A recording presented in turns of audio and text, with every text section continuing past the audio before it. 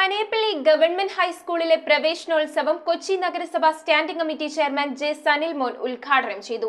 യാസ്മിൻ ഫൗണ്ടേഷന്റെ നേതൃത്വത്തിൽ S S L C പരീക്ഷയിൽ ഉന്നത വിജയം നേടിയ വിദ്യാർത്ഥികൾക്ക് Maulana Azad library secretary N K M Sharif ഉപഹാരം നൽകി ആദരിച്ചു. പനയപ്പള്ളി ഗവൺമെന്റ് ഹൈസ്കൂളിലെ പ്രവേശനോത്സവം കൊച്ചി നഗരസഭ സ്റ്റാൻഡിംഗ് കമ്മിറ്റി ചെയർമാൻ ജെ സനിൽമോനാണ് ഉദ്ഘാടനം ചെയ്തത്. P T A president Nazeer നൌഷാദിന്റെ അധ്യക്ഷതയിൽ യാസ്മിൻ ഫൗണ്ടേഷന്റെ നേതൃത്വത്തിൽ എസ് എസ് എൽ സി പരീക്ഷയിൽ ഉന്നത വിജയം നേടിയ C S Vishnu V U Anusree എന്നിവർക്ക് Maulana Azad library secretary N K M Sharif ഉപഹാരങ്ങൾ നൽകി. School head master E. A. Abdul Sathar Cochin charitable society president Saleem Shukoor Tagore library secretary M R Sasi Sreenarayana trust പ്രതിനിധി C B Madhu school ജാഗ്രതാ സമിതി അംഗം A V Thomas old student association അംഗങ്ങളായ C P Ajith Kumar M M Abdul Rahman സാക്ഷരതാ mission coordinator C A Kaulath retired അധ്യാപിക Lekha teacher senior അധ്യാപിക E A Anitha Kochi നഗരസഭ health inspector P S Peter P R Ratheesh എന്നിവർ സംസാരിച്ചു.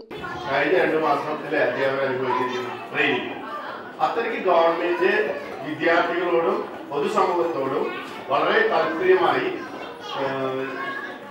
ട്രെയിനിങ്ങുകൾ കൊടുത്തുകൊണ്ടിരിക്കുകയാണ്. News bureau Kochi. മിഴിവുള്ള സ്ഫടിക തുല്യമായ കാഴ്ചകൾക്ക് അയ്യാൻ ലെൻസ് തോപ്പുംപടി കൃത്യതയോടെയും ഗ്യാരണ്ടിയോടും കൂടിയ നേത്ര പരിശോധന നേത്ര സംരക്ഷണ രംഗത്തെ മൂന്ന് പതിറ്റാണ്ട് കാലത്തെ പാരമ്പര്യം. അയ്യാൻ ലെൻസ് കണ്ണുകൾക്ക് തുണയായി എന്നും നിങ്ങളോടൊപ്പം.